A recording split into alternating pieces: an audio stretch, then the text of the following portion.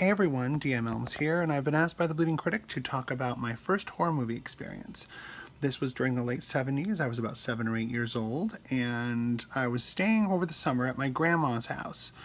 And we had neighbors there. Uh, that was a family that um, I'm not going to name their last name. They were pretty awesome people, but uh, if you were to describe them as the family from Wrong Turn who used more cars, you wouldn't be wrong. Uh, they were really nice though, and they were often uh, fans of going to the drive-in at night um, to see whatever the movie was playing. And I'm talking like at night, every other night. Like they would go to the same movies over and over again. And one night they were packing up their pickup truck, and it, at the time it was uh, one car was the price of the you know you fixed price for one car at the drive-in.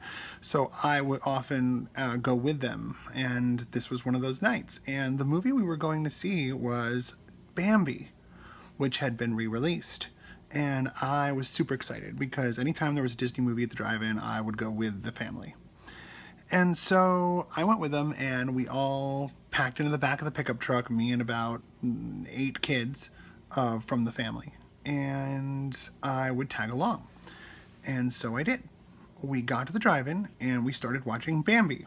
And that was when some of the older boys who were in the back of the pickup truck uh, said uh, to me and my best friend, who was the one of the neighbor family, uh, girl named Elizabeth, uh, she said, "Hey, Elizabeth, hey, um, look at this movie over here." And so we turned around, and the movie that uh, in the far distance you could see another screen because this was a drive-in back then. They would show you know many movies on a, on a drive-in. They were much bigger than the few holdouts that remain today that have like one screen showing something. Uh, there were like three or four, and we looked over and what I saw was a man who looked like some kind of a janitor or a caretaker or something.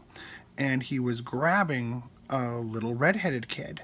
And um, since I was a little redheaded kid, uh, I was, what is this? You know, I never, you never, I didn't, really get to see many redheaded kids. Uh, so I was kind of intrigued just by that. Like, wow, it's you know someone who looks kind of like me up there because I had that long 70s hair like the little redheaded kid did too. And then coming down the hallway was a silver ball. Now, it's important to remember that we weren't actually watching the movie with the little radio that was hooked up to the uh, side of the car.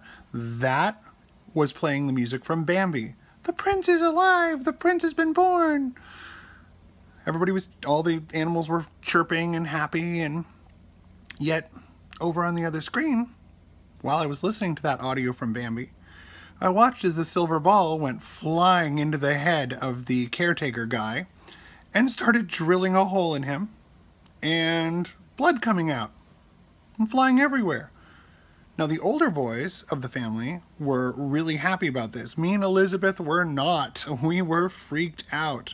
We were giggling and hiding our faces.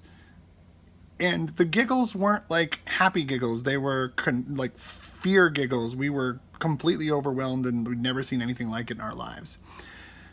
And so, being horror struck, we turned around and tried to watch Bambi.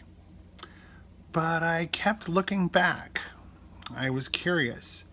And as I looked back, I saw little hooded monsters. And I would turn away, shaking. And then I'd look back again and I saw that mysterious old man walking through a, what I later found out was a mausoleum. And I couldn't stop looking. Then, after we got home and I was petrified beyond all reason. My parents didn't understand why I had been so traumatized and I didn't want to sleep alone and I was really upset, but of course, you know, I had to.